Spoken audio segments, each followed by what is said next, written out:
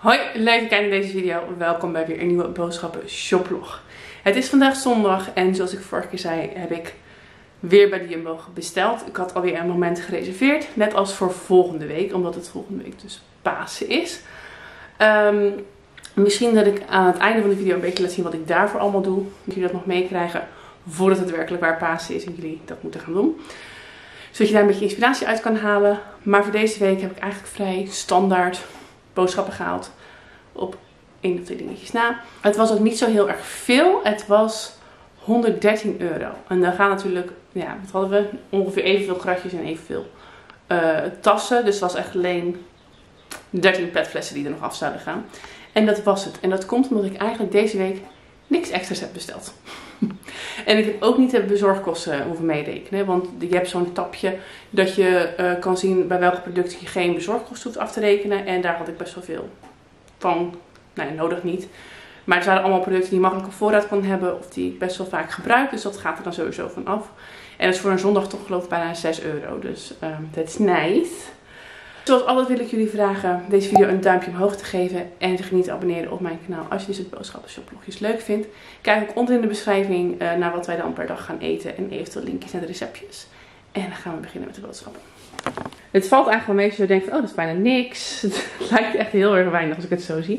Maar dit was toch echt 113 euro. We eten van de week een keertje uh, plaattaart. Dus ik heb een plaattaart, pizza deging met crème fraîche doen we dat dan beleggen. En paprika, ui en olijven. Die zat standaard als je dat receptje bij Jumbo aanklikte, dan kwam dat gratis mee. En ik heb het niet van afgehaald, want ik heb het dus nog wel in huis van die zwarte olijven. De rest is altijd super handig. Ik zal het receptje onderin linken, want deze hebben we vaker gegeten. Stond bij mijn favorieten.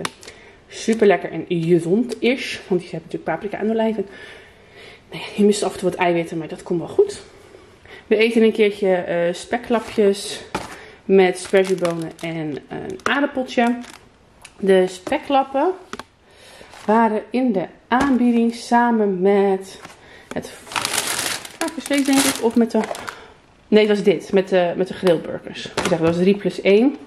Dus vandaar dat we deze hebben gekozen met de uh, sperziebonen. We eten dus ook weer een keertje broodje hamburger met een salade. Saladespullen heb ik eigenlijk altijd wel een beetje van. En wat ik door de week uh, op is, dan komt het gewoon even een beetje bij. Maar meestal redden we het wel. Maar we hebben gewoon nog steeds hamburgers liggen. Van die diepvries hamburgers vanuit de Sligero. Maar persoonlijk vind ik en uh, Pascal vinden die gewoon net even wat minder lekker. Voor die kinderen maakt het denk ik niet heel veel uit. Maar omdat ze nu toch in de aanbieding waren. Hebben we in ieder geval acht gewone hamburgers nu ook. Dan komen we op het gedeelte licht geïnspireerd door alle acties. Uh, het was nu met de Conimax en de Prodent dat de bezorgkosten wegvielen. Dus, dus ik heb gekozen voor de Babi Pangang. Um, omdat ook het varkensvlees is in de aanbieding was. Ik heb één varkensvlees erbij om, uh, voor het vlees van de Pangang. Met pultjes en champignons. En dan een kroepeltje erbij. Uh, omdat de dingen dan nog niet compleet was, heb ik dus ook een uh, hai gekozen. Die kunnen we dan volgende week waarschijnlijk eten. Lijkt me ook heel erg lekker. Dus we gaan proberen gebakken uitjes. En we eten best wel vaak natuurlijk kip met blokgroente en rijst. Of noedels of wat dan ook. Omdat dat voor mij vrij makkelijke makers zijn. En die kinderen dat ook lekker vinden. Dus alvast een sausje voor daarbij. En dan uh, waren de bezorgkosten er bijna. Dan heb ik nog ergens daar tandpasta liggen. Dus toen waren de bezorgkosten gratis. We eten natuurlijk ook nog een keertje friet met snacks. En op zondag is het paas, dus dan eten we iets compleet anders. Um, en we hebben ook nog een optie van um, rode linzensoep met naambrood. Dat rode linzensoep zit in de vriezer van vorige week. Naambrood hebben we toen niet gebruikt. Um, voor het geval mijn moeder vrijdag niet komt. Weet ik niet precies, meestal komt ze op vrijdag koken. Maar omdat ze ook op zondag hier is met Pasen, weet ik niet wat ze doet. Dus dan hebben we altijd iets extra's. En dan kunnen we dit eventueel doorschuiven naar volgende week. Dit kan allemaal in de vriezer. En dan eten we sowieso morgen dan de soep, omdat het dan weer zo'n drukke dag is. Maandag is bij ons soepdag. We hebben uh, helemaal op. Lekker weer een grote zak met ijs geslagen voor salades en zo. Roomboter voor op ons brood en om het brood te bakken. Dit is wat ik uh, twee weken geleden ook had. Want ik uh, de worteltjes, een gedeelte van de worteltjes raspik. Net als de courgette. Die doe ik eventjes bakken in wokolie. Met een klein gesneden paprikaatje. Dat bewaar ik in zo'n wekpot. En dat kan ik dan door de week eventjes in zo'n, dit is een bieten variant rap. Met een, doe je de bietenrap, een beetje hummus. En dan van dat prutten overheen met een beetje zout en peper. Vouw je dicht. Super vullend maaltje. Wat vrij gezond is. Omdat je wortel en courgette en paprika en bieten en hummus, allemaal prima. En uh, ook best wel veel. Wel koolhydraatrijk, dus echt alleen maar op de dagen dat ik genoeg koolhydraten nog ter beschikking heb. Um, ik heb ook weer van die stracciatella varg gehaald. Uh, die andere heb ik niet gedaan. Ik heb nog een grote pot met vanillesmaak en nog een klein beetje van witte chocolade. Maar dat gaat natuurlijk van de week allemaal op. Extra paprika's dus ook uh, voor dat prutje kunnen maken. Worteltjes en zo ook om te kunnen dippen in de hummus. Um, komkommer ook gewoon om te dippen in de hummus of op de uh, tussendoortje met een beetje aromat of zo. Vult heel erg goed. We hebben boterhamworst voor op de boterhammetjes. Ik heb nog salami en ik heb nog kalkoenfilet, dus dat komt helemaal goed. De kaas was bijna op, dus weer een heel nieuw pak. Er gaat echt een kilo kaas bij ons door de week heen. Omdat eigenlijk de meeste van onze voorkeur hebben aan een boterham met kaas in plaats van een boterham met vleeswaren. Rijstewafels zijn een hit in de ochtend. Um, ik denk dat het een beetje een combinatie is met dat ze het lastig vinden dat ze zelf brood moeten snijden. Dus in dit geval gaat het vooral voor fleur. Dan is het brood allemaal net klaar, dan moet het nog gesneden worden. En is liever een rijstewafel. En het geldt eigenlijk ook voor Brooke. Die kiezen s ochtends eigenlijk liever voor, voor crackers of rijstwafels dan voor brood. Tussen de middag eten ze wel allemaal brood. Maar ik vind het wel goed dat ze het een beetje afwisselen.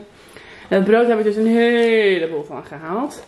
Um, het bruinbrood beviel wel, maar niet heel erg. Dus ik denk dat we dat gewoon af en toe zomaar eens even tussendoor gooien.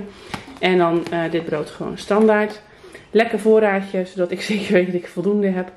Want alle kinderen zitten volgens mij uh, net voor hun groeispurt. Want ze zijn aan het knagen. Daar worden we gewoon eng van. Er gaat gewoon echt zoveel eten doorheen. We hebben nog uh, Crystal Clear wat aanvulling. Even wat aanvulling op het fruit. Want we hebben nog steeds een zak met appels. Die, de buren hebben een uh, ding. Dus dat blijft maar een beetje. Druiven, wit en rood.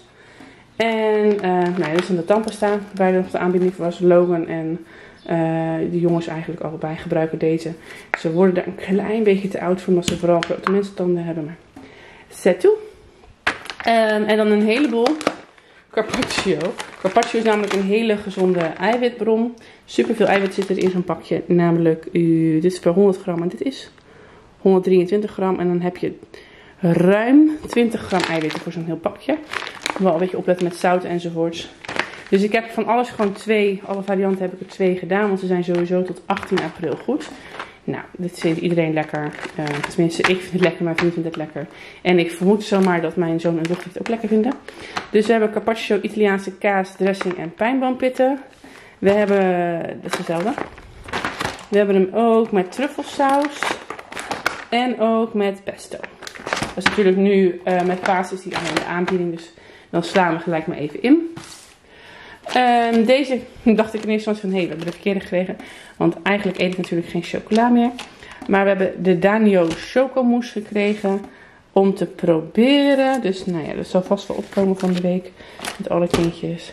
Maar dit is alles wat ik heb besteld voor aankomende week. Omdat deze video natuurlijk op vrijdag wordt gepost. En dan is het op uh, zondag alweer. Echt jongens. Dit moet ik even laten zien. Uh. We hadden gisteren echt al een spin niet aan Tokio. En nu? Oh, hij kruipt dit hoekje in. Zo. Zien jullie dat? Echt, ik hou ervan om buiten af te wonen. Eeuw. Niet leuk. Sorry, dat was even een sidetrack. Maar goed, omdat deze video dus op vrijdag uh, gepost gaat worden en het op zondag dan eerste Pasen is, dacht ik misschien is het leuk om vast even te laten zien wat we dan allemaal met Pasen gaan doen. Wij vieren Pasen met mijn moeder en haar partner. En mijn tante en mijn oom van die kant. En dan onze kinderen. En dan gaan we natuurlijk ook paaseieren zoeken enzovoort.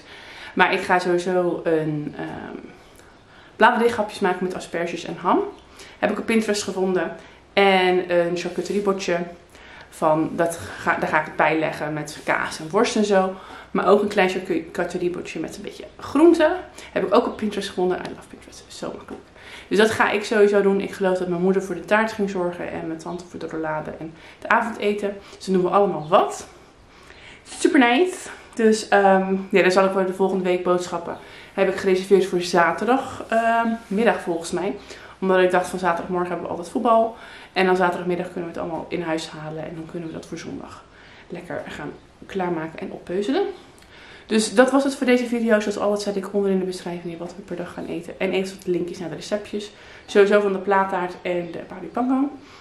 En ehm, wil ik jullie vragen deze video een duimpje omhoog te geven als je deze video's leuk vindt. En vergeet te abonneren op mijn kanaal om op de hoogte te blijven van de video's die ik post. En dan zie ik je in de volgende video. Fijne Pasen!